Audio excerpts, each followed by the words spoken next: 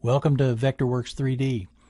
We're going to be drawing this uh, little garden bench and before we get started with the tutorials on how you draw it, I wanted to go over just a few things that may bug you along the way and this hopefully will uh, take that that uh, off of your shoulders and you can just focus on, on drawing the bench. A few things that you're going to see that look different um, on uh, my view than your view.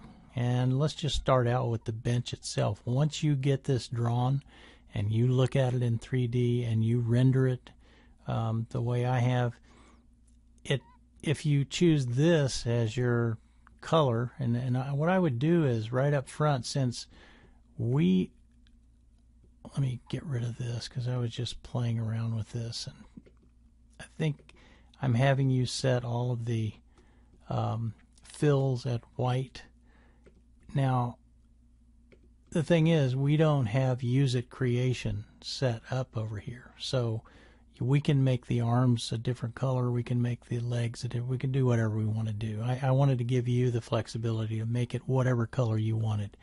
This could be uh, any color here. And as long as, here's my point, as long as when you start drawing, you come over here, deselect so that nothing is selected come over here and select one of these colors. Now I'm working under the classic Vectorworks colors down here. You could go to the standard Vectorworks colors. Um, right now I'm not, you know, that doesn't really affect this project at all. You can do whatever you want. You can do use any of these up here, any of these down here. Okay, but I'm using classic Vectorworks colors. And so just find a color that you like and then and make that the active um, fill. And so it, it, will then make whatever you draw, it'll give it that fill color. If I draw a, a rectangle here, it'll have that fill. Okay? So just do that up front um, before you start drawing. And make sure you're deselected. You've clicked off somewhere so that nothing is selected, and then choose your color. Okay. Now, a couple other things. You're not going to see the shadowing if you choose the same uh, fill color as me, you won't see the shadowing because you haven't set up any type of lighting yet, which I've done on this. Uh, so don't worry about that. We're gonna we're gonna do that as we go along in the project. Second of all, you'll see this little save sheet um, menu up here. This allows me to uh, jump back and forth from the schedule to the parts to the 3D view to all, which is everything, um, you won't have that because you haven't set up those uh, save views yet. We are going to do that. But I will be referring, for example, to parts so that I can get the dimensions and I can actually draw the bench.